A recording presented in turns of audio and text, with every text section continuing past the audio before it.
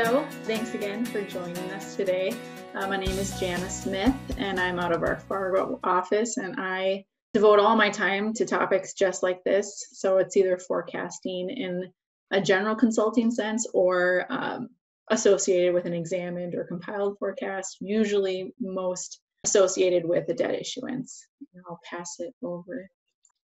Hi, this is Sean Delury. I have I bring 15 years of experience in CPA firms. Oh, I'm third, but and I I work with Jana in the Examine Forecast group. I also do some strategic financial planning and modeling. And um, during the winter, I do some ECA reporting work for healthcare and non-healthcare clients.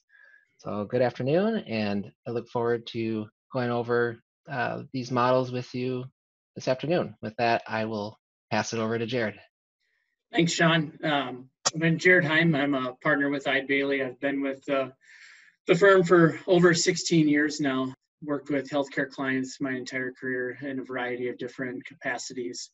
Um, and then the past seven years, I've been leading our firm's strategic financing group.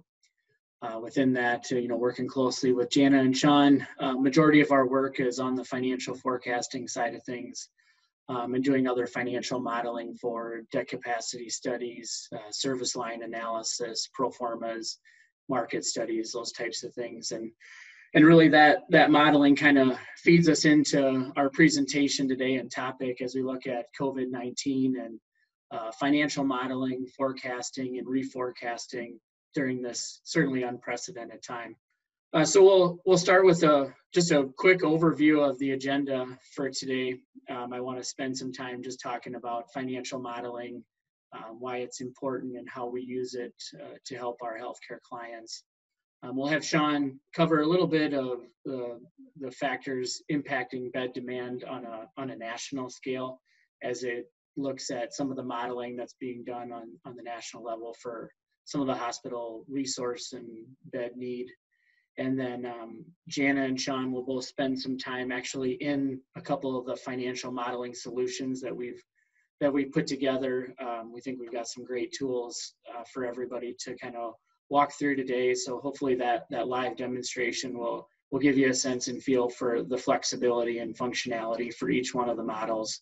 And then, as Amy alluded to earlier, uh, we hope to have some time at the end for some questions to make sure that we're you know covering everything that you need. And and again, we just want to thank everybody for for joining us here today. I know it's a Friday afternoon and probably the 100th webinar you've had the opportunity to sit through this week. So um, bear with us for the next 55 minutes or so, and uh, we'll try and keep this as entertaining as possible and, and keep you moving with the rest of your work week. So when we think about financial modeling, you know, it's it really comes down to us helping out a client work through a, a, a significant decision and looking through some various strategic factors. Um, one of the things that's that's extremely important for us is to kind of model through and be able to display a variety of different scenarios and really provide solutions and answers in a real-time setting. So um, as you heard all of us talk about the things that we work on, um, we spend our lives in models virtually every single day.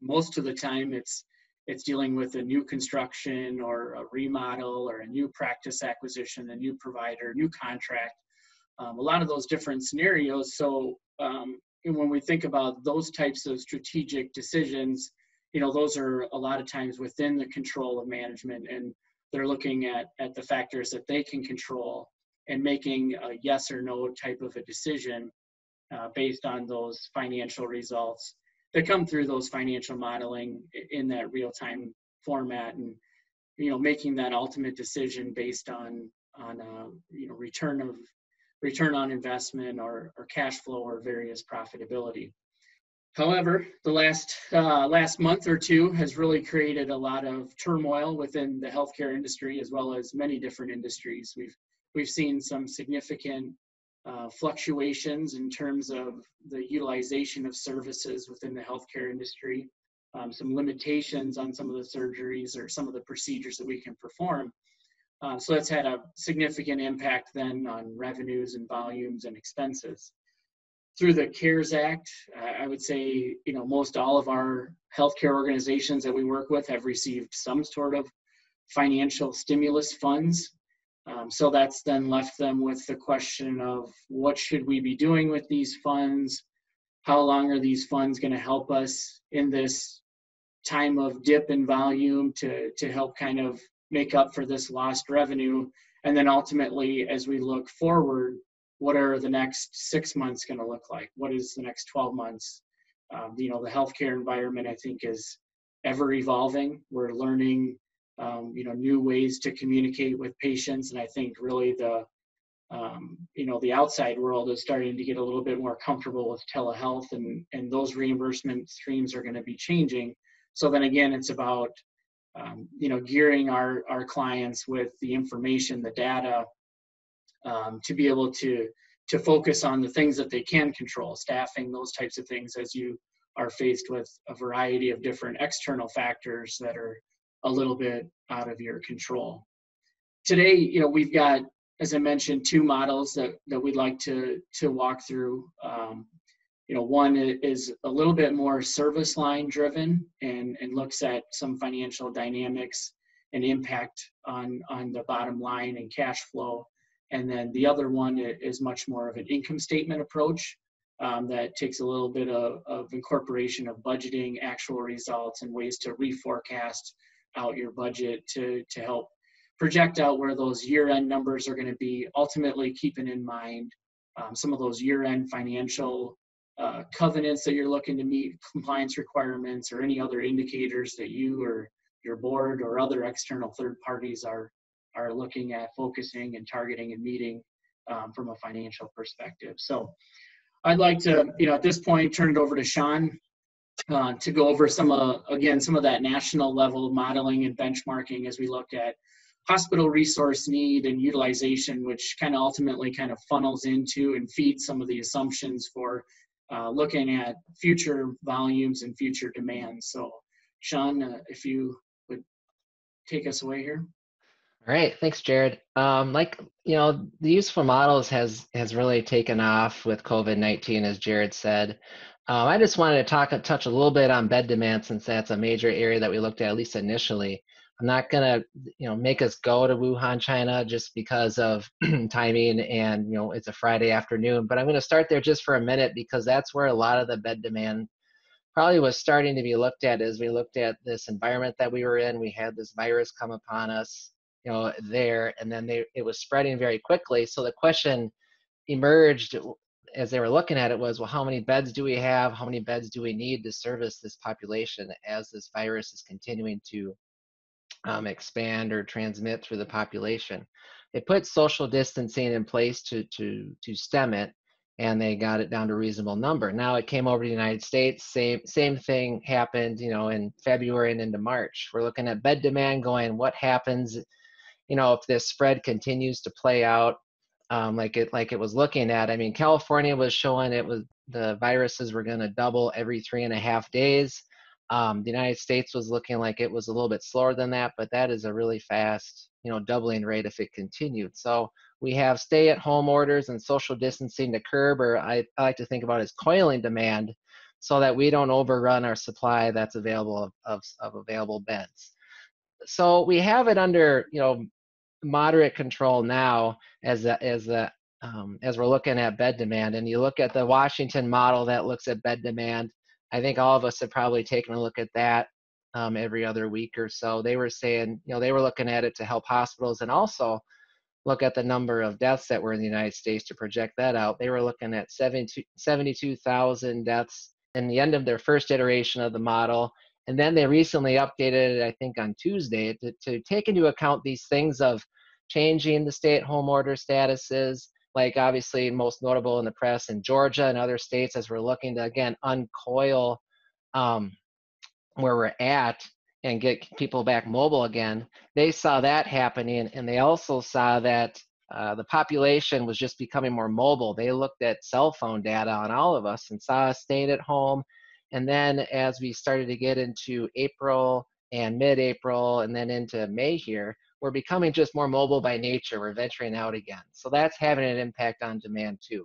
So their latest estimate showed, in fact, factored in those things that that the death rate was going to almost double or go up to 132. I think they're at 134 this morning uh, uh, deaths due to you know due to the virus. So as things are changing, these models, it's helpful to have adjustable models that we're going to go through that are changing in real time as the conditions are. So I have here just showing four large impacts that that are going to change bed demand. Obviously, stay-at-home order status. As we're lifting those, the bed demand is going to fundamentally change or increase um, demand as we remove those statuses. Populations just becoming more mobile, like the Washington model said, is going to increase bed demand. Um, businesses' willingness to open will increase bed demand. Now, obviously, a business is going to open if they have um, a population that's willing to go there. You think of the restaurant; they're not going to open unless the population is willing and is feels safe to go to those restaurants. So, as those open, we're going to be more um, clustered. We're going to be together again as as communities. That's going to change the bed demand. And so the fourth factor is just that what we would model in a bed demand in a bed demand look or model is the speed and how much the spread is going through the population. So we have an image down below showing as demand factors go up, the transmission and the spread is going to rise as well. And just to just to pinpoint that, we do have a high level bed demand model that we started to put together. So the left side of it is showing is showing how it's looking right now. So the I, you know, the Washington model is showing, yeah, we are at, we are stable. We don't have doubling right now as I'm, as I'm circling. We, our infection rate is relatively small and we're on, you know, the downside of our, of our curve, of our first wave curve. You think of the wave, it's a, it's a bell-shaped curve. We were up, we were increasing. We were at what New York City called the epicenter of the top. Now we've now we've gone over the top and we're on the downside of the curve. Well, now Georgia and other states have released have changed social distancing and some of those things. So that's gonna on the IHME or the Washington model has increased that bell a bit and made it a little fatter on the decrease side. So so demand is changing as a result as we're changing the condition. So on the right, we have what's kind of a worst case. What if we uncoil it completely and say no social distancing, um, there's no there's no more there's no more restriction on the double rate, which increases our our demand for beds. So this shows the United States yesterday had a double rate of about 50 days, so it doubles every 50. We have instead of 3% infected, we're going to get to 80%, which some consider herd immunity. We still have 50% being having symptoms and 50% non. You can see the green is the is the available beds in the United States, net the filled beds. So we have about 950,000 beds 65% of them are occupied. So we have 330,000 beds. And out of those available, you can see the, the blue bars is the daily demand increase. And as you can see, as we get into the late fall or on 11.6, as the box suggests there that on that graphic, our, our uh, demand has met supply. And then everything after that is how many times do we exceed that demand? And we're exceeding that demand by about five times at the end of the rainbow the end of it. So, and at the end, we have a peak demand of about 1.9 million. So this gets back to back to China or back to early United States modeling of this thing. Why we put these things in place? We didn't want to obviously outstrip or over exceed uh, the the supply of beds available. That gets us to the other two models in in a way, at least um, well both models. I'm going to jump into the strategic financial impact model in a minute, but before I do, I want to explain it a little. And why it dives into that is how Jared suggested that we have um, we have the social distancing in place to stop, you know, the demand from exceeding our supply. Well, some of the one of those things that we did was we reduced our availability of elective procedures. Some some think surgery, but more as we're as we've seen it, and obviously you've experienced it um, directly this has been a broad range of services that have been reduced. So we kind of coined that as elective procedures. So we've built this model, the strategic impact model, to be a flexible, real-time feedback model, as you'll see as I open it, um, to assist in understanding those impacts on elective procedures. So how that changes our organization operations and our financial outlook. So we're looking at today really the elective procedures that I. And, and the service lines we, we're going to look at is surgery, clinic, inpatient, other ancillaries or outpatient, and then the all other bucket that encapsulates everything else. Uh, we also have room to look at COVID-19 surges. If you're, if you're a COVID-19 center, we can look at the impact it's having on you as you have fluctuations in your surging for COVID-19.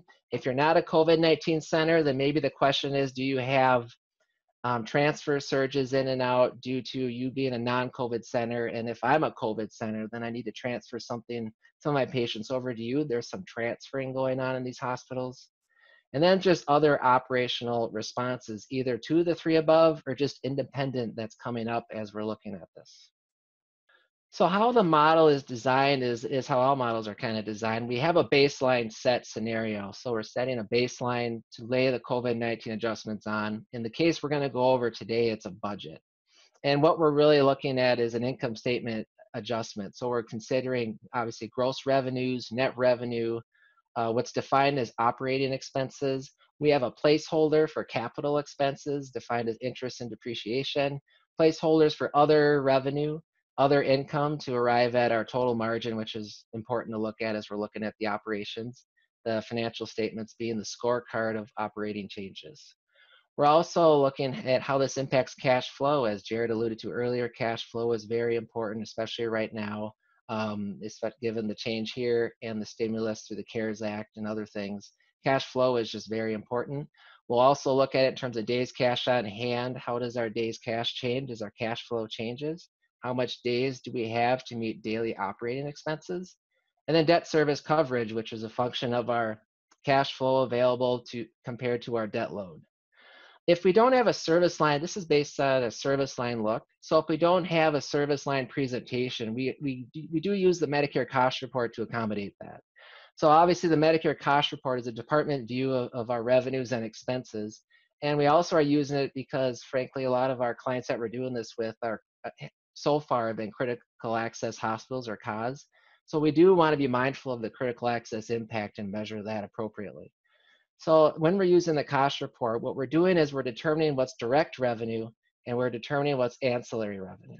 And so the ancillary revenues are everything that's not direct and is comprised of your images, your labs, your therapies, uh, your, your drugs, and, and that's, that's most of the groupings of our ancillaries. We're cutting it across to create a service line. The expenses will follow that revenue allocation, well, especially the, the operating expenses. So then we get to the service line view, which is where we think that the elective procedures are ultimately impacted at, as you'll see, is at the service line level. So what we have here is, is the look of it. We have it locked down. So we have, we have three main looks of that, uh, uh or three main so we have three main uh, tabs of the model. So we have this, which is our summary board look. And what it has is it has our it has our variables on the upper left quadrant there. So we have allocations and then the dip, which I'm going to go over. So we have our variables we can change there. And then we have um, hospital-wide ratios over here. So we have days cash on hand, we have debt service coverage, and total margin that I touched on earlier. And then we have a mini cash flow over here since cash flow is, is critically important at this time in terms of 2019 historical year, the baseline, and then the COVID, the co impacts from COVID. So we have the service lines color coded. We have surgery, clinic, inpatient, adults and peds, other ancillary, and all other in, in those colors. But that corresponds to the graphs to the right, which are showing the volumes changing over the 12 months of the year for those four service lines, surgery through other ancillary. Um, we have we have the scenario mocked up right now.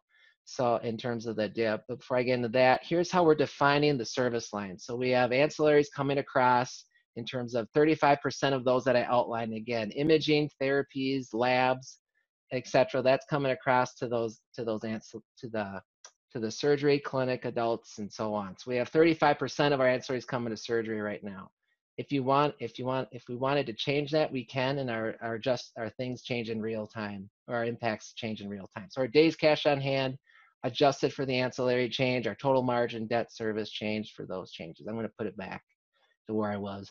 Another thing you might watch as i'm going down the line i think you can see this is i have a gray box a gray area in the bottom right corner. This is showing our original scenario that we have mocked up right now in terms of net revenue for the entire hospital. And then and, and, then I have this hard code as this is what I'm starting with, and then you can see the difference as I'm going through to show the impact across the hospital. I'm going to touch on that on the bottom quick. So this shows the income statement at a contribution margin level for the service line. So we have volumes in terms of the baseline and then the COVID um, adjustment and then the change. We have net revenue, salaries and employee benefits, and then all other expenses uh, down below. And then below that, we have a subsection of that in terms of what's variable and what's fixed. So, and then we get to total expenses, contribution margin to the system, and then a, a contribution margin percentage. So we have that for operating room, clinic in blue, uh, inpatient in gray, other ancillary in green, and then the all other in, in the light gray. And then another note, the all other includes the indirect expenses also. So, so those are housed there. If we wanted to change indirect, we could do that too. And then off to the bottom right is hospital wide or just the summation of those five going across. So then we get into the decline, we get into the dip or the change in elective procedures. So when we're looking at that, um, we have you know the decline. You can see the difference due to service line, and this is based on this first view is based on discussion with department managers who said, yeah, the surgery is going to be 100%, the clinic's actually going to be a 50%, inpatient's going to be slight at 10. Um, other ancillary was 50, and the all other I was surprised was at 50 as well. So we and we can change that if we want and see how that impacts our results in real time. So we can, you know, let's say let's say the surgery is going to be 50. So I change it to 50. You can see our days cash, debt service, and indicators changed. My per, my in my uh, contribution margin look changed as well. And my hospital, you know, we increased our net revenue on a net basis of about a million and our net margin by just under a million. I can go back. Let's just go back to home and say that's our home scenario. Okay. So then we have, that's the depth of the decline. What about this? What about how long it is? You can change how long it is from two to three months. Okay. That's 285,000 on revenue. Go back. Then we get it, once we get to what our decline is, how long is our decline? We can set how long our bottom is. Is it two months at bottom? Is it three months at bottom? So I changed it to a three month bottom. You can see all our graphs on the right change to reflect that. Now we have a three month surgery bottom as well as clinic and you can see it impacted our net revenue by about $839,000 if it's if it's a three month compared to a two month. Let's go back to two. Um, so after we set the bottom, we get to a recoupment or coming out of that curve. So the question is, is what percent of our base are we going to get to? And I have it set at 80% with the exception of adults and peds. You can, what if we get to 100% on the clinic? We're going to get all the way back. Okay. That gets us five, roughly 500,000 more net revenue than we had in our previous scenario. Okay, let's go back. Why 80%? Well, things might change. There's a lot of patients that might be a little timid to come back. There, there could be a, you know, a, a degree of factors that will means it'll take some time to get back to full. So then we're going to shave off some of that and discount it. Also have recoupment timing. How long does it take to get our recoupment back? Is it two months or is it one? Is it two months or three months. I'm going to just keep put it back to two. Um, so you can set that. We have another, we have an additional add-on. What if there's a surge? We have pent-up demand. What if some of that demand comes in? You can click, that has a click on feature to say included or not. Let's include it. So now we included a 60% surge to get back. Because if you look at the bottom section here that I highlighted now, our volumes are still down throughout the year because even if you get back your baseline back, you still have lost volume during that decline. So if you can surge it, you can get some of that back. Now the question becomes, if I ramp up to 100, but okay, I'm at 100 cases. Let's say 80 is my limit, and I can only do 80 actually cases in my physical um, operating room. Okay, you can either adjust the timing to see how long it takes to get to 80. If we if we need to get to 80, or if we can't get to 80, then we go back down on our return timeline. Let's go back down a couple months and go, what if maybe we just got to reduce our surge then we can't get to 100% surge. We got to get to something. And this is kind of where you plug and play with it and see where you get to. What does it take to get to 80? Maybe our surge realistically is 40%. I'm going to turn it back off. So now we're back to even. Um, so we see what the impact of this review, this look of the de- of the decline of elective procedures is. It's about you know 6.7 million dollars of net revenue, a reduction of 25 percent, or 6.5 million of contribution margin. What if we have an expense uh, response to that, or we do some other things to get back? The fir- I turned the expense reduction on. In the first dial is in this review is what does it take to get to a debt covenant of 1.25? And this, it looks like it's about $4.7 million of, of net expense to get back. Then you can toggle that and say, what if we do more or less? What does it take to get back? Or what do we real, realistically think we can cut um, and, and take out of the system? And I can get back to get back to even. Um, and then we have cash flows along the way. Um, so you can see the cash flow impact. So our change in this in this review was, you know, 6.4 or 6.5 million dollars of expenses coming out. We do we do incorporate, you know, the stimulus in here. There was about a 2.5 million dollar PPP financing in this um, payment protection plan loan in this, and then there was another I think 500,000 that came in the door to get to 3.1. So you know, a lot of people we were thinking early before we did this was, oh, well, we have the PPP loan and other money that's going to fund our, our margin loss. It doesn't look like that's the case if this is the size of our elective procedure decline and coming back timing. Looks like it's half. Um, so, so we can have some expense reduction impacts on there and see how that overlays in. So we put that in, 4.7 million of expense reduction. My other change is actually 3.9 because there's there was 500,000 in there already, and this is a critical access hospital. So as we're taking out 4.7 of expense, we're also taking out that share of the revenue as well. So this is this is um, the main summary board presentation. It's a locked model. Um, we're sharing this with we've done this with a few clients so far. Um, we're sharing them this this model to share with boards, or we can go over it with boards as well, or department managers and the organization wide if if like to go that way. There are other uh, presentations that we have in this as well. So we have a service line presentation whoops, that shows the adjustment between um, the baseline for the 12 months that we're looking at and in terms of what the what the budget was in this case or the base and then what the covid change is and then the adjusted so this is the volume change for that service line or the volume that we had here's the volume coming out the timing, and then here's our adjusted numbers. And then we do the same drill for gross revenue, net revenue, salaries. We don't have any because again, PPP, we weren't we weren't touching salaries yet. You can if we if we elect to go that way to model benefits, other operating. You can see that coming out, and then there's the net effect, the contribution margin that we that we had, and then the and then the COVID impacts on contribution margin and the net effect. We also have those for the other service lines. You can see down below, we have it for the five service lines for surgery. We have it for the clinic and just, just the other ones are down below too. In the, in the middle, we have a more traditional uh, financial statement look that looks at that looks at terms of the income statement. Sorry, I'm trying to adjust it to the screen. That has a look in terms of how it overlays on the income statement. So we have this different uh, service lines as columns so for surgery, clinic, inpatient. And then we have the gross revenues in terms of what's the direct and what's the ancillary. So you can start to see what does that ancillary overlay coming across the service lines look like. And again, if we don't agree with that, we can change it on the on the operate on the main board there, or we can go into the model itself, which is which is locked and change it there.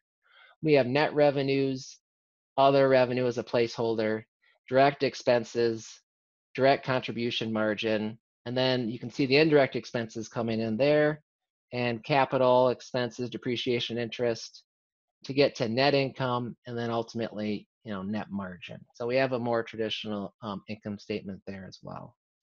So I think you know this model can be helpful in layering in multiple scenarios. It's an impact model um, as uh, meant to be a discussion model or communication model between management and possibly governing boards um, layering on scenarios and just really looking at what's our base and comparing it to if we change operationally, how does that change impact our financial scorecard and and understanding how those changes are affecting the operation and the financial picture. I know I went fairly quickly. If there's questions, we'll try to get to them at the end. Otherwise, if you do have questions on it, you can email me or, or Jared and Jana, and you can um, yeah, email or call or send if you have a question. You can send your information on that question area. And uh, with that, Amy, we can you can send it over to Jana to talk about the rolling uh, forecast model. All right. So some of these we included in your board or in your packets so that you can review them later. Um, but this is the flavor for what Sean just presented now. So the rolling forecast model. Um, this is the piece that that um, I've worked on most closely. And when I think about some of the issues that we're running into with our clients, you know, the planning documents that you use generally aren't working right now for a multitude of reasons. And first is that your budget is outdated. And that often happens in any year at some point, but it's never been more true now. And the other piece is that your projected year end outcomes are just difficult to define. So, in any industry, I think that can be hard, but in healthcare specifically, there are additional layers to that, um, whether it's your payer mix, your reimbursement mechanisms, and now the added element of stimulus funds and how that interplays with everything else. Um, it just really makes your projected year end difficult to define. And then lastly, data. So healthcare has plentiful data, but it's often cumbersome or really difficult to pull and you're constantly being pulled back and forth on this cost benefit analysis which is is the time and energy required by me to pull that information together helpful? And is it going to have some utility in the end for me to make good decisions or any decision based on? And so with those things in mind we tried to develop something that addressed those issues. And I'm going to just read what we call a rolling forecast model definition because I think it just most quickly and accurately describes it. So, a rolling forecast model allows management to make updates to the budget, incorporate known changes to operations, and create the ability to see fluctuations in volumes or expenses resulting in a projected income statement. I think the key word there is projected income statement. And so, often what we're hearing is okay, based on what I'm doing today, what's going to happen? What does my year end look like? And for better or for worse, that is a point in time that we're all accustomed to really honing in on. And reason for reasons for that are just compliance. So if you think about a lot of our organizations, there's some sort of debt covenant that they're trying to maintain, or um, there's just some internal goals that you're trying to maintain. So those might not be the same ones you had at the beginning of the year in terms of certain operational indicators, but you certainly as an organization probably have some now, whether it's maintaining your current staff or whether it's safety measures, whatever those might be, you're trying to manage all of those pieces together. So much like Sean referenced, there are drivers that really make up a lot of our models. And the three most, the three used in ours are what we're calling your actual results, your budgeted results, and then your adjusted budget results. So the key for us was how do we make something that you can use quickly that has value but isn't getting so bogged down in some of the details of your financial statements or your trial balances. So the goal in this is really to take it to that financial statement level. And we would use your internal financial statements, likely something that you're already presenting on a monthly basis to your board, as your baseline and then add on a few other pieces of information from there. So payer mix and FTE information are the two, not to the extent of you know delineating between administration and IT, just simply potentially three areas. So your variable FTEs, your um, fixed FTEs, and then like a clinic in this situation, or whatever re- most represents your organization's baseline and then your budget. So your budget is something that you probably already have prepared, and that would be something that we took on the onset and setup of your model. And so hopefully that wouldn't be difficult to provide either in terms of time on your end. And you might also say, okay, maybe I should have a budget prepared in this way, but we don't. So does that mean that this isn't going to be a product that's relevant for me? I don't think that's the case in a situation where you don't have a, a, a, monthly budget that you're following right now. We would go back to your last fiscal year. So, what was normal last May and use that as our starting point. And then the last piece here is what we're calling your adjusted budget. And so, this is the place where you get to play or do those what if scenarios and say, okay, this is what we thought was going to happen. or this is what happened last year, how far off are we from those results? And what does that mean in terms of a year end picture? So you'll see a few tabs on the bottom here, and on, I'll spend a little bit more time on some rather than others. Uh, but the first is the budget. So this is this client's budget. And as you can see, it's not super detailed. You can look at the areas and lines that we're focused in on on the left-hand side and each month across the top. And then all you'll notice that there's definitely some repetition between the tabs. That's intentional. It's just making sure we're comparing apples to apples. Much like Sean described, cash flows are very important. This isn't a super detailed cash flow, but it does take into account a lot of those heavy hitter items and also the ones that you know we most commonly see across organizations. So you have your beginning cash balance, your general activity, getting depreciation, amortization, unrealized gain loss, things like that out. Um, oftentimes you also have a capital expenditures budget. This would be the place where you can um, put in those property purchases for the year, and then of course your debt payments. In keeping with, again, some of the similarities between Sean and my model, or our model, is the days cash on hand, debt service coverage ratio. These are things you can monitor on a monthly basis. Also, would be in this situation available at, year end as well. So this was the plan. And from your perspective as somebody who would utilize this, this is really pretty informational. We wouldn't expect a lot of change here. Um, it's just something to reference back to while you're in this model. Then you have your actual results. Again, you'll see a lot of repetition, but I think the thing to take away from here is the amount of energy and time you would need to pull this information together. So hopefully, you know, I think we're looking every month at between 20 and 30 lines to key in. Hopefully this is something that you feel is manageable within your day now. And then the one addition that I would point out here is the stimulus funds. So this is the place where you can keep track of those dollars that have come in from all the various um, sources. And then again, of course, you have your plan for cash flows, and then there's what actually happens. So maybe some of those capital purchases you pushed off and are down the road now, um, or maybe you ended up needing to purchase more things ahead of time for some um, other reasons. And then you get your, again, real-time days cash on hand and debt service coverage ratios. Again, you'll see some repetition here. So then we move into the adjusted budget. So this is the place where you get to play. You'll notice January through March, there aren't any changes. Those months have come and gone. If I figure out how to rewrite the past, I'll let you all know, but I don't hold your breath. And then you'll start to see things change here in April, May, June, July, and I believe through September. These were the months that we felt or this client felt they weren't going to be able to meet budget. And you'll also notice that this is at the dollar level. So your starting point is your budget and how off from budget are we and are we expecting to be or think we might be?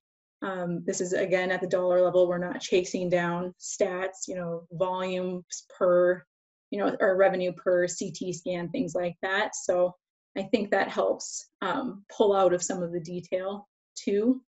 You also have the ability to look at your payer mix. So that is something that you know maybe you haven't in the past seen a lot of change in but with all of these service lines changing and all of the access and who's really going to the hospital now or whatever the case might be for your organization, this is the place where you could adjust for those things. Another thing I should mention too is this is certainly set up for a critical access hospital, but is definitely not limited to a critical access hospital. If you're a PPS, a nursing home, assisted living, these are all things that are very interchangeable and can be tailored to your organization pretty quickly. And then again, for this piece, there is the ability to look at your contractual adjustments on a monthly basis. The reality is, is for this situation, it's a critical access hospital, so Medicare is not something that you really have the ability to adjust, but the other areas are certainly something that you could uh, make real-time adjustments for. And then, of course, the last two, charity care, bad debt. Um, I'll kind of slow down here other operating revenue, you'll see the stimulus funds coming in in April, $500,000. This would be again the place where you can um, track those dollars as they're coming in and really make sure you know in total what you've received and then also be able to make those adjustments quickly. On the staffing side, with some assistance from stimulus, there haven't been any adjustments to staffing, but as those dollars change, there might be some adjustments here that you want to make and whatever that new normal really ends up looking like. And then lastly, we have kind of the other bucket, a place that I think you might think of using most is probably the supplies line, maybe your professional fees line, depending on how your organization is run. But you know, whether you're using the same supplies and they cost more now, or you need more supplies for preparatory measures, this is where you would insert that information. And then where does this go to? So that blended result is really the place where you can see all of these things come together in a way that I think is meaningful. So the key here is that if you mouse over these boxes in the blue text line, you have the ability to toggle between your actual results, your budgeted results, and your adjusted budgeted results. So in this situation, for months that have already come and gone, I'm not sure that you want to look back on what budget was because it's not necessarily relevant anyway. But in April here, let's just assume that we're not in May and April's not closed out and all those things, but you have your actual results, which don't exist yet. So that would not be populated. Your budgeted results, oh, your budgeted results. So what you thought was going to happen, you know, four or five months ago, and then where you think you're going to land now. And one item I would key in on here too is if you're trying to just get a, a general idea of what your lost revenue might be, toggling between your adjusted budget and your budget might give you a good indicator of that. The other piece that you'll notice here is your budget. So if I scroll down and say, what were we really expecting to have happen? We were saying we were going to make six grand in our budgeted scenario. In this situation, where we've adjusted things, we're actually much better off, and it's really all related to those stimulus dollars. So I think that's one thing that um, is really helpful as you're trying to just get in the ballpark of, of what's happening in your organization. As you mouse over or scroll over, you can get to a projected column, which is exactly that your blended results of what's happened, what do we think might happen, and if we ever get back to budget, what does our year end look like? And then you can see here the results in this type of format. We took it one step further and said, okay, that's all fine and dandy, but keeping in mind what our key financial indicators are, how does that, what does that mean um, in terms of like a dashboard setting or a look that you would want to share with someone? So for this organization, we have operating margin, days cash on hand, and debt service coverage ratios as our three areas to look at. And then we've delineated between with stimulus and without stimulus. And so I think it's helpful to just know what that means. And particularly now, as you look at after you've received all these funds, documenting and making sure that you retain those funds and what would happen if some of those dollars um, weren't forgiven and and really being mindful of what is today might not continue and if it doesn't what's the risk? So in this situation i'll just kind of scroll down here. Of course we have our cash flows we have our days cash on hand and then our debt service coverage ratios. So the only other thing and in this case they were they have covenants so we have those um, flowing across the graphs as well so one other thing I would want to mention too is this excess and shortfall number, both on either covenant. And so I think the piece that I find to be helpful here is, okay, so we're meeting covenants in all circumstances, but what does that really equate to? How close to the line are we? And so when I think of that, I look at, okay, we're at a 1.31 without stimulus how close to the line are we? So in this case, it's about $100,000, but depending on your organization, that could be 15 grand or it could be $500,000. And I think that's just important to keep in mind too, as you're using this as a planning tool. So I think from my perspective, the thing that I find most helpful for us is this kind of, it takes you out of some of the details that can be so daunting at times and really gives you the opportunity to play and look and, and make meaningful decisions and you know as variables do become more known you can insert it into a place and have some some idea of where you might land as uh, year end approaches. And so with that i will kick it back to jared. Yeah thanks thanks jana and and thanks to sean for for going through those models. Um, you know i I probably, I know you guys both mentioned this too, but um, you know, we tried to keep things a little bit high level at this point. Um, you know, we don't want to dive in too much, but know the tailored features of of both of these models to the specific organization. I think is what really provides the the utmost value, and and we try and keep you know the the monthly compilation of numbers and, and data inputs to to as minimal as possible, but at the same time, still monitor that flexibility and usefulness uh, of, of, of both of the models. And I, I think in both scenarios are, you know, illustrating those variabilities uh, as they come through. So, you know, I think as, as I look at Sean's model on that strategic financial impact model, you might be looking more three, four, five, six months down the road um, in terms of kind of projecting out those surges and dips and comebacks, but also a much more longer term uh, usefulness within that model as well too for looking at you know some longer strategic decisions. And then you know on that rolling forecast model i i think jana hit it on the head when you know she mentioned about you know when you think about the timing of when you do your budget uh, most oftentimes before the year even starts you're a little bit behind in terms of where you're at. Uh, you know, could be positive or negative.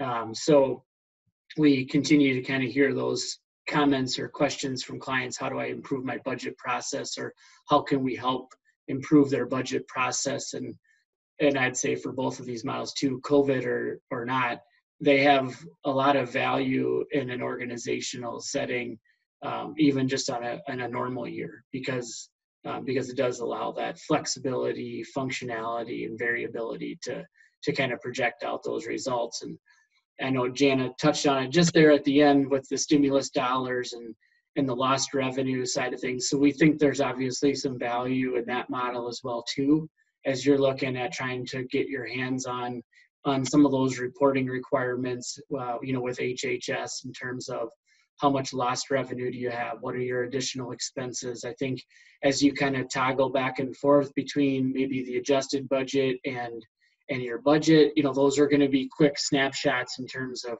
where did we where did we actually end up or where do we think we're going to end up as you kind of look to plan out those funds. Um, certainly you know we've gotten a lot of those dollars in the month of april and the first part of may but the reality is is those funds really are going to be uh, you know, could be utilized over the next, you know, 18 months to two years. Nobody really knows how things are going to play out, uh, you know, in terms of the the overall impact to utilization, uh, you know, consumerism, unemployment, all of those things have a, a trickle down effect on how people utilize healthcare services.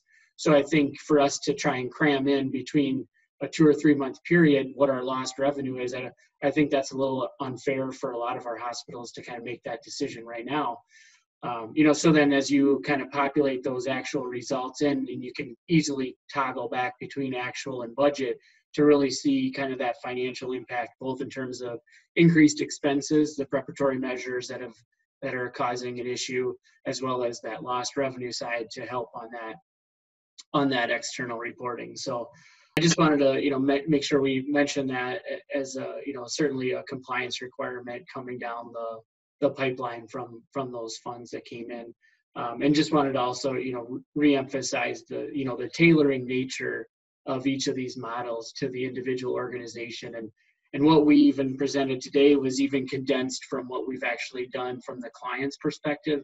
Um, knowing that we were a little bit limited on time and wanted to keep things in, in a good visible format, um, but we really spend a lot of time in the, you know, the you know discovery calls with with hospital you know, CFO or CEO, just in terms of trying to understand from them what's valuable for from an output perspective. What do they want to put in on a monthly basis?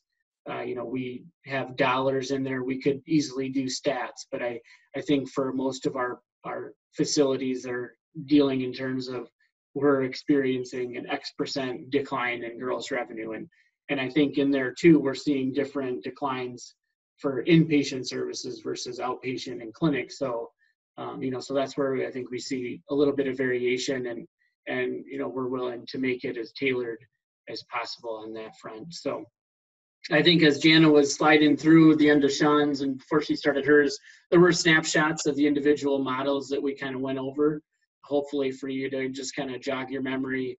Obviously, the webinar itself will be uploaded to our to our homepage, to the landing page where the registration was at. If you want to uh, rewatch it again, or if if there's something that jogs your memory, you want to go through it. We're trying to put together, uh, you know, a live tutorial video too. So maybe more on that to come in the future. But um, I guess before we sign off here, we do have about five minutes uh, before the bottom of the hour. So if any questions have have come through, Amy, uh, can you cycle them through, or do I need to pull them up on mine? Um, nothing has come through.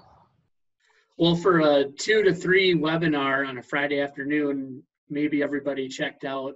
Uh, but for those that that stayed through to the end, uh, we do appreciate your attendance today. I know uh, as I mentioned at the out front, there's a lot of webinars that are getting uh, on the calendars these days, but this is obviously a, a, lot of a lot of things that impact our our audience. So um, our contact information is up on the screen right now. So if if something comes up after after our webinar today or as after the weekend, if you had some time to think about it and you have any questions, you know, we definitely encourage you to reach out to to any one of us. So I appreciate uh, appreciate everybody's attendance and thanks to Sean and Jana again for going through the model and uh, uh, stay safe everyone and enjoy your weekend.